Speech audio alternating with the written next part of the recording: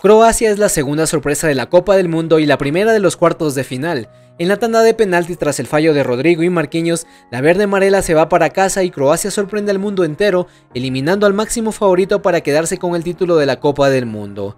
Una situación que por supuesto generó las lágrimas de los brasileños, especialmente la... especialmente la de su máxima estrella Neymar Jr. que fue el protagonista del gol de su selección, pero que no fue suficiente y se quedaron en la tanda de penales tras empatar en los alargues. El sueño de Neymar era darle la sexta Copa del Mundo para Brasil, pero su sueño nuevamente se vio truncado, esta vez no por las lesiones, sino por el ímpetu y el sacrificio de una selección croata que a pesar de estar abajo en el marcador nunca bajó los brazos y hoy ha sorprendido al mundo entero.